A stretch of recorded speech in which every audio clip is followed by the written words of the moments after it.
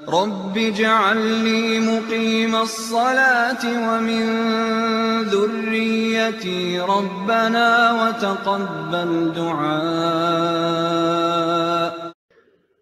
أعوذ بالله من الشيطان الرجيم. بسم الله الرحمن الرحيم. الحمد لله والصلاة والسلام على رسول الله وعلى آله وأصحابه أجمعين. Amin ya mu'in velhamdülillahi rabbil alemin. Çok değerli, çok kıymetli kardeşlerim, Ramazan sohbetleri başlarında bu mübarek ayda, rahmet ayında ve dua ayında dua üstünde duruyoruz. Birinci sohbette Ramazan-ı Şerif ayını anlatan oruçla alakalı ahkamın da bulunduğu ayetlerin devamında ve izâ sâleke ibâdî anni fe inni karib ayeti vardı ki dua ayetidir. Ramazan ayetleri içinde dua ayetinin geçmesi Ramazan ayında yapılan duaların daha makbul olduğunun işareti. İşte buradan çıkış yaparak bu ayki Ramazan-ı Şerif'te dua bahsini farklı yönleriyle ele alalım arzu ettik. İkinci sohbette ise Kur'an-ı Kerim'de geçen dua kelimesinin farklı manalara geldiği, lügat yönüyle de ele alarak ayetlerden misallerle bu hususa dikkat çektik ve duanın önemiyle, faziletiyle alakalı bir on kadar hadis-i şerifi de dünkü sohbette, ikinci sohbette heyetinize sunmaya çalışmıştım. Böyle bağlantılı sohbetler yapmayı arzu ediyorum. Bugün de yine duanın önemi ve faziletiyle alakalı birkaç hususa kısa kısa temas edip inşallah bu faslı devam ettirmeye çalışacağız.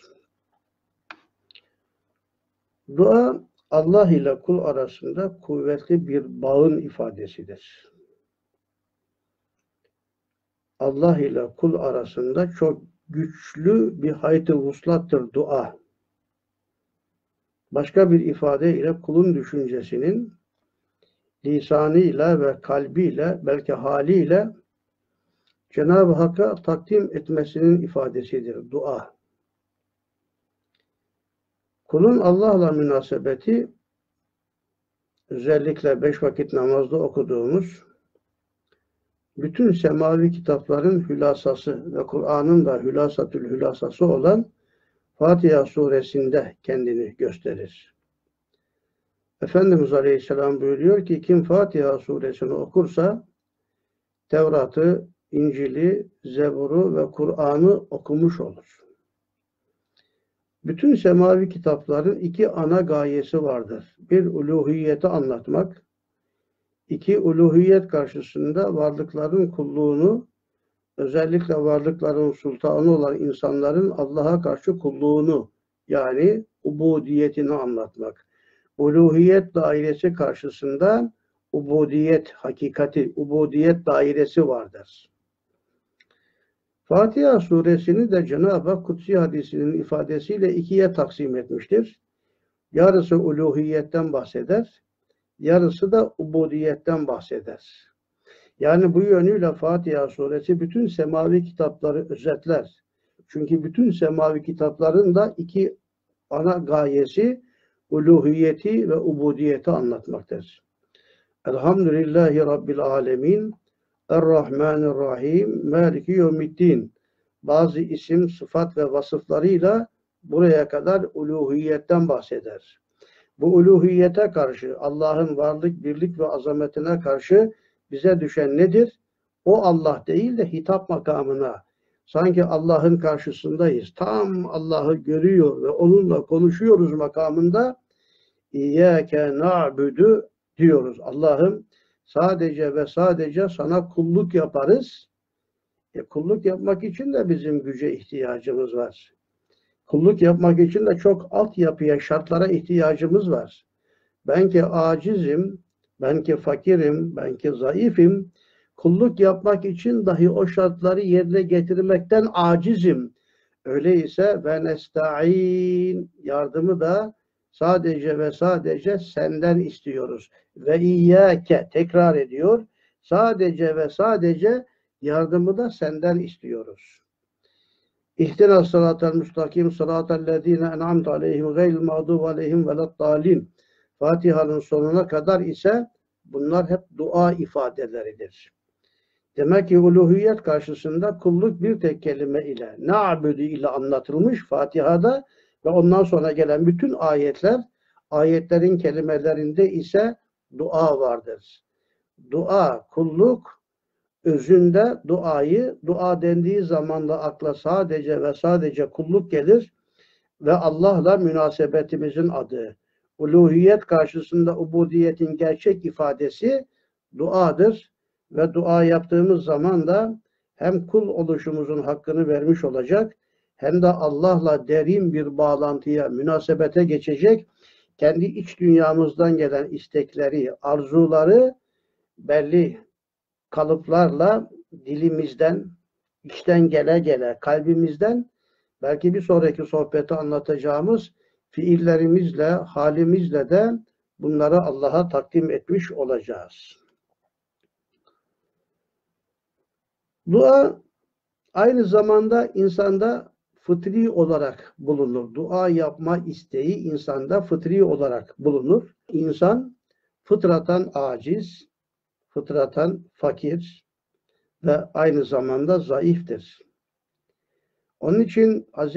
Adem'den günümüze kadar bütün insanlarda dua anlayışı olmuştur. Dua hakikati olmuştur.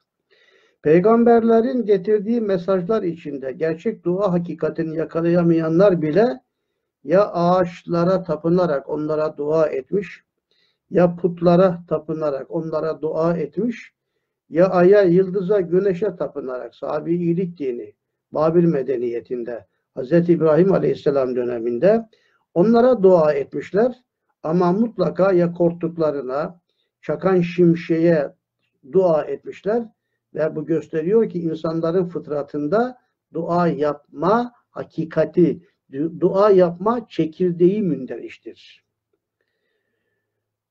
Fıtri bir ibadet olarak en ateist, en inkarcı bir insanın bile başına bir bela, bir musibet gelse bunlar deneylerle de sabittir. Hemen Allah der, Allah'ım koru, Allah'ım koru, Allah'ım koru der.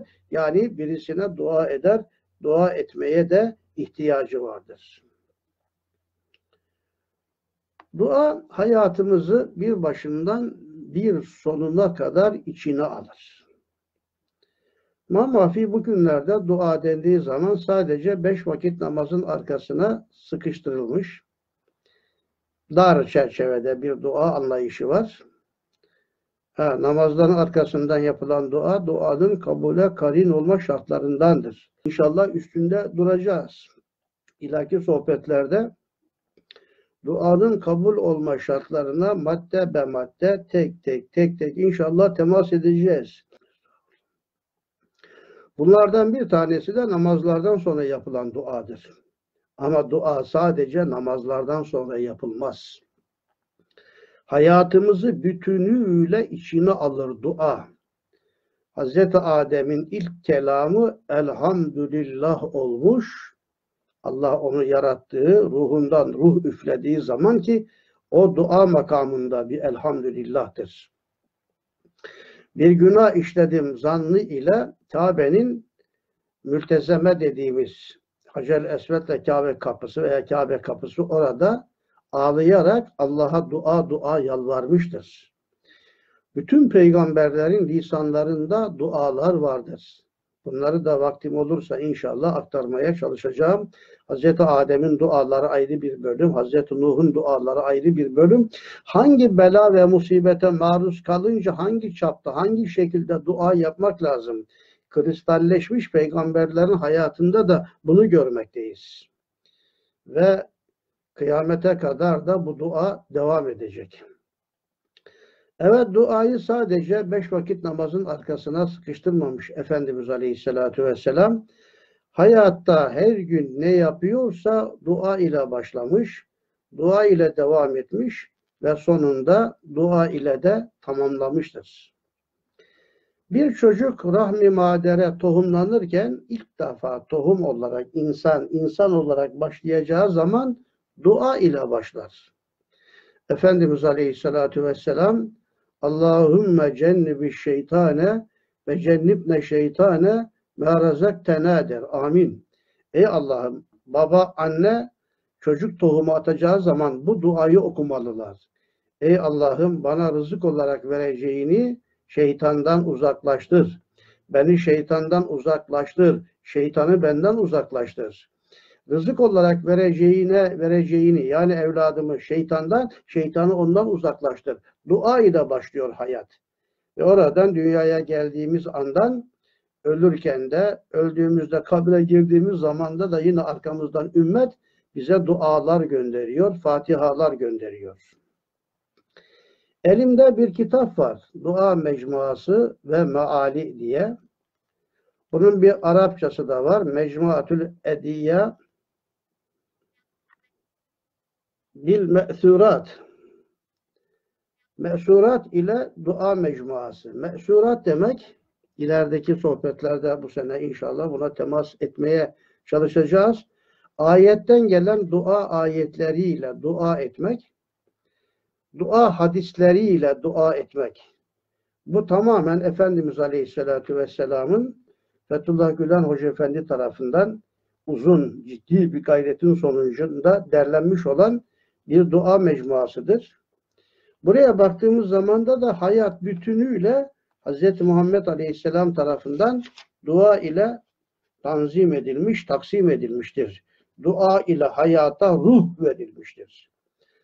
Sabah namazından sonra okunacak dualar, sabah namazından sonra, sabah duaları, akşam namazından sonra, uyumak istediğinde, yatağa girdiğinde, rüyasında hoşlanmadığı bir şeyi gördüğünde yapılan dualardan, yatakta yan değiştirdiğinde, uyandığında yapılacak dualara kadar, bir yatmada yapılacak dualar, gece teheccüd namazına kalktığında, vitir namazını da Fatiha'dan sonra yapacağı dualar, vitir duaları, Bağışlayın helaya girerken, oradan çıkarken, abdeste başlarken, abdestten sonra camiye girerken, camiden çıkarken, camiye giderken yolda yapacağı dualardan, ezan duasından ve devam ediyor iftar duasına kadar ki bunun üstünde bu Ramazan-ı Şerif ayındayız. Müstakillen durmayı düşünüyorum.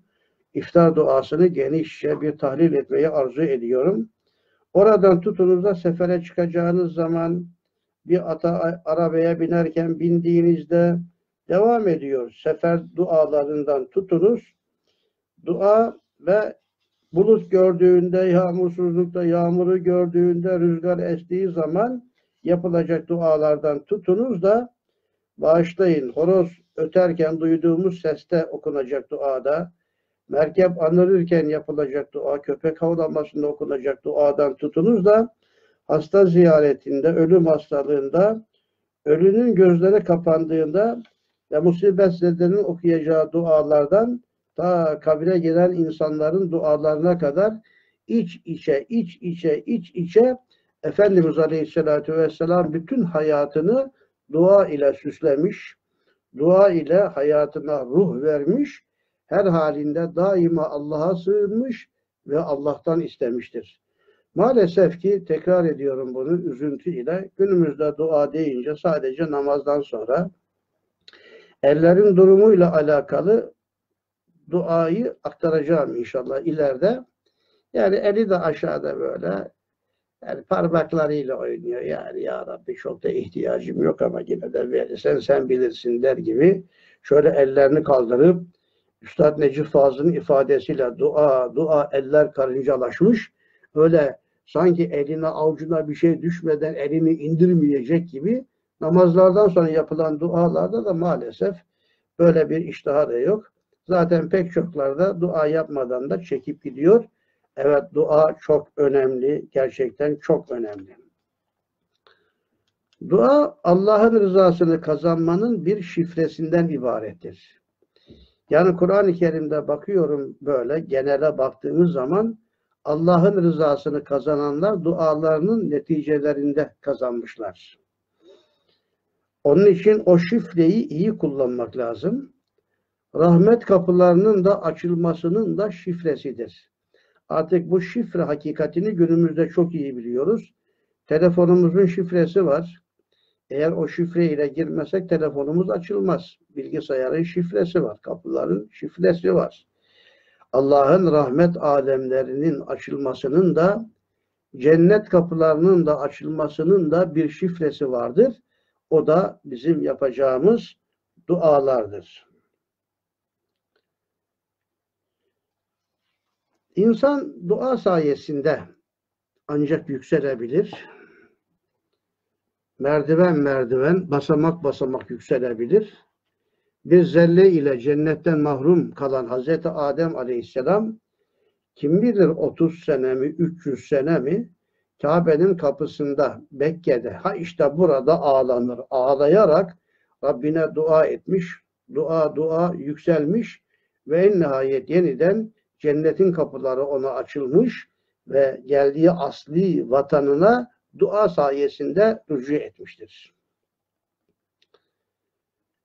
Duanın bizlere bakan bir yönü vardır. Biz maddi ve manevi ihtiyaçlarımızı isteriz Rabbimizden dua sayesinde. Ne var ki burada bir incelik var. Çok defa istediğimiz şeyi de isteme şeklini de bilemeyiz. Belki duada en önemli noktalardan bir tanesi de budur. Şöyle açabilirim. Nasıl namaz bir ibadettir ve belli şartları, belli bir formülesi vardır. Farzı vardır, vacibi vardır, sünneti vardır, adabı vardır. Keza abdestin de öyle.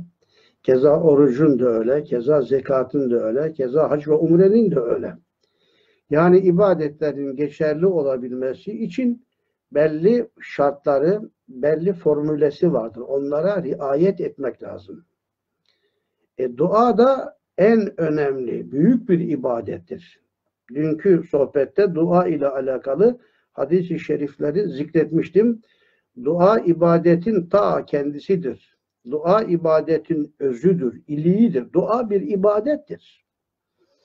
Binaenaleyh dua ibadetinin de eda edilebilmesi için herhalde bizim de dikkat etmemiz lazım gelen belli zahiri şartlar, belki batini şartlar olarak onun da farzı, vacibi, sünneti, adabı mesabesinde yerine getirilmesi lazım gelen yönleri vardır. İşte bundan sonraki sohbetlerde inşallah bir iki sohbet daha belki faziletiyle, önemiyle alakalı hususlara temas edeceğim. Ama bundan sonraki sohbetlerde Ramazan-ı Şerif'in sonuna kadar dua ederken nasıl olmalıyız, nelere dikkat etmeliyiz, adabı, şartları, tıpkı namazın, abdestin şartları, fazları, rükünleri, müfsitleri gibi inşallah bu hususa temas etmeye çalışacağım. İnanırız ki mutlak güç sahibi Allah'tır. Her şeyi yaratan Allah'tır. Allahu haliku külli şeyin her şeyin ama her şeyin haliki yaratanı Allah'tır. Buna inanıyoruz ve buna inanmak mecburiyetindeyiz. Mümin olabilmek için. Her şeyin haliki, şey kelimesini kullanmış Allah. Değerli kardeşlerim, şey kelimesi kadar içeriği geniş başka bir kelime yoktur. Şey. Hatta ulema arasında Allah'a da şey denir mi denmez mi? Bak şey nereye kadar gidiyor? İçeriği nereye kadar? Allah'a da şey denir mi denmez mi? Bazı alimlere göre Allah'a da şey denebilir. Ama Allah burada mütekellimdir. Yani konuşandır. Allah'tan başka ne kadar varsa şeydir ve her şeyi yaratan Allah'tır. Öyleyse benim neye ihtiyacım varsa bunları yaratacak olan Hazreti Allah'tır. Allah'a dayanarak, Allah'tan yardım isteyerek. Aslında duanın özü budur. Risale-i Nur'dan da bazı bölümleri okuyacağım inşallah. 24. mektubun birinci zeylini okumanızı tavsiye ederim. Dua en cami bir şekilde Risalelerde orada anlatılmıştır. Oradaki nüktelerden bir tanesinde diyor ki duanın en güzel tarafı şudur. Dua eden adam anlar ki şu anda beni gören, beni bilen, her şeyime nigahban olan, basir, rakip, müheymin olan bir Allah vardır. O Allah ki benim dediklerimi işitiyor. Semi, es-semi olan Allah.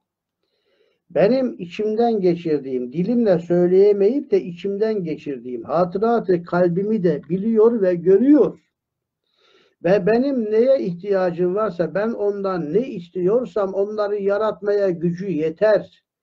Allah'ın gücü her şeye yeter. Ve hu ala kulli şeyin kadir. İşte böyle bir Allah ile beraber olduğu anı yakalamak dua hem onda bir zevk var, hem onda bir tad var, hem itminan var, hem de gönül rahatlığı vardır. Çünkü halis bir imanın halis bir imanın neticesidir dua. Evet dua halis bir imanı ifade ediyor. Onun tercümanı ve biz onu terennüm ediyoruz ve böylece her an Allah'la beraber olabildiğimiz bir andır. Değerli kardeşlerim, bu hususu daha farklı boyutlarıyla aktarmak istiyorum inşallah. 20 dakika kadar bir sohbet yapmayı planladım ve saatime bakıyorum. 20 dakika kadar da olmuş. İnşallah yarın bu duanın önem ve faziletiyle alakalı bugün de birkaç kelime ile hep tekrar ettim. Dille yapılan, kalple yapılan, tavırla yapılan dualar olarak yarın da inşallah dua çeşitlerine ve dua ile münacat arasındaki farklara dikkat çekerek inşallah bir de bu hususa kısaca temas edip Risale-i Nur'dan da iktibaslar yaparak daha sonra e, farklı yönleriyle inşallah Ramazan-ı Şerif'in sonuna kadar bu dua bahsimiz, duanın adabı, kabule, karin olma şartlarıyla beraber devam edecek. Duanın makbul olduğu özellikle iftara yakın saatlerimizde, anlarımızda inşallah bu saatlerde daha da yalvaracak, içten yakarışlarla kul olduğumuzu, isteklerimizi Allah'a takdim edeceğiz. Cenab-ı Hak dualarımızı kabul buyuracak. Amin diyoruz. Amin kelimesinin dua bağlantısını da inşallah gelecek sohbetlerde sizlerle paylaşmaya çalışacağım. Dinlediğiniz, takip ettiğiniz için teşekkürlerimi sunuyor ve sizleri Allah'a emanet ediyorum.